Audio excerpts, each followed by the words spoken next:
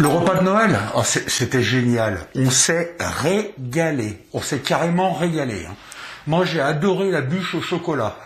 C'était et tout ça en respectant les mesures sanitaires en plus. Hein. Je te jure.